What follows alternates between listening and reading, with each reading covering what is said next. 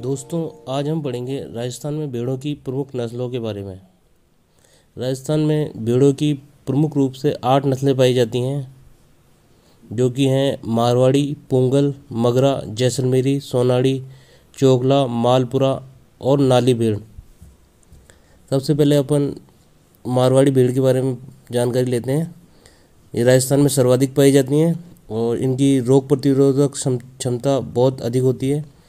इनका अनुसंधान केंद्र जोधपुर में स्थित है। इसके बाद है पुंगल भेड़। यह भेड़ सिरोही, पाली व बीकानेर में पाई जाती है। इसका अनुसंधान केंद्र जैसलमेर, बीकानेर व नागौर में स्थित है।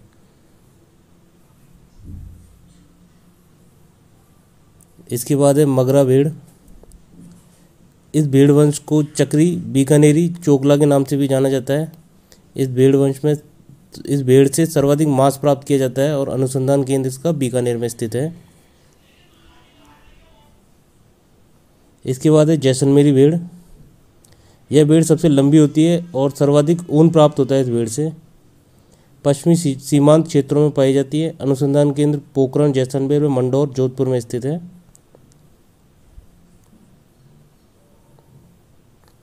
इसके बाद है सोनाड़ी भेड़। इस भेड़ को चनौथर भेड़ भी कहा जाता है। इसके कान सबसे लंबे होते हैं।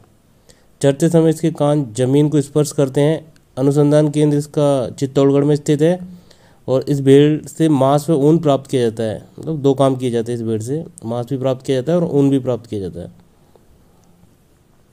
इसके बाद आती है चोकला भेड़। इसे छापर, शेखावाटी, भारत की मैरिनो भी कहा जाता है। यह भेड़ की सर्वश्रेष्ठ नस्ल है।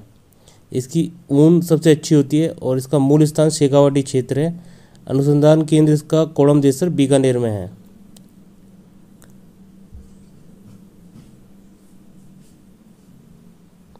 इसके बाद आती है मालपुरी भेड़।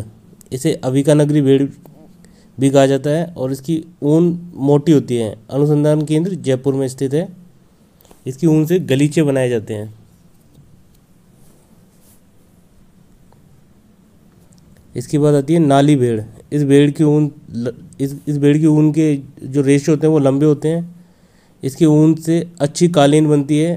अनुसंधान केंद्र इसका हनुमानगढ़ में स्थित है। अब चलिए इनकी ट्रिक की तरफ़ चलते हैं। ट्रिक है, मारवाड़ी भेड़ पागल मगर जैसलमेरी जैसलमेरी भेड़ सोना चोखा, माल नया। मारवाड़ी भेड़ पागल मगर जैसलमेरी भेड़ सोना चोखा, माल नया। मारवाड़ी से हो जाएगी मारवाड़ी भेड़ और पागल से पोंगल भेड़, मगर से मगरा भेड़, जैसलमेरी से हो जाएगी जैसलमेरी भेड़ और सोना से सोनाड़ी भेड़, चोखा से हो जाएगी चोकला भेड़, माल से मालपुरी भेड़ और नया से हो जाएगी नाली भेड़। आशा करता हूँ कि आज की ट्रिक ट्रिक आपको पसंद आई होगी। अगर आपको ये ट्रिक पसंद आई तो इस वीडियो को लाइक करें और चैनल को सब्सक्राइब करें, अपने दोस्तों के साथ शेयर करें।